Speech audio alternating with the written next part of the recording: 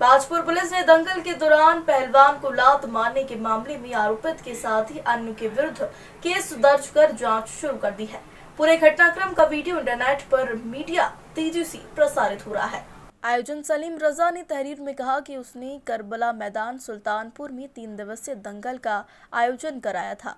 सात नवंबर की शाम करीब पाँच बजे दो पहलवानों के बीच कुश्ती चल रही थी। इसी दौरान पट्टी कला घोसीपुरा निवासी हारू ने एक पहलवान को लात मार दी। आरोप है कि कमेटी के सदस्यों के विरुद्ध पर अरशद तस्लीम अज्जू अमान व उनके दस अज्ञात साथियों ने मैदान में घुसकर मारपीट शुरू कर दी।